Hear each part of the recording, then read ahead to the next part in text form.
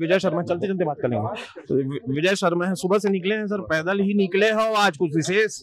नहीं आज वोट डाले तो हमारे घर के पासे में है। तो पैदल जा करके वोट डाल देते ऐसे तो है। तो रास्ता में चाय वाय पियता है आज बड़े महापर्व है लोक लोकतंत्र का बड़ा महापर्व है और लोगों को बहुत उम्मीदें हैं आने वाली सरकार से। हाँ तीसरी बार मोदी जी की सरकार आएगी देश में बड़ा परिवर्तन आएगा।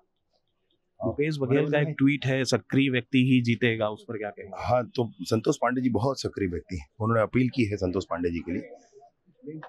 अभी वोट डालकर आपसे बातचीत करेंगे आप वोट डालें। तो देख सकते हैं कि विजय शर्मा हैं और अभी अभी वोट डालने के लिए पहुँचे हुए हैं और आगे इनसे और बातचीत करेंगे। लंबी कतार है और उम्मीद है कि बातचीत उनसे होती रहेगी और तमाम मीडिया पर्सन यहाँ पर भिड़े हुए हैं। देख सकते हैं कि यहाँ पर वोट डालने के लिए पहुँचे हुए हैं विजय शर्मा और बस मतदान करने जा रहे हैं।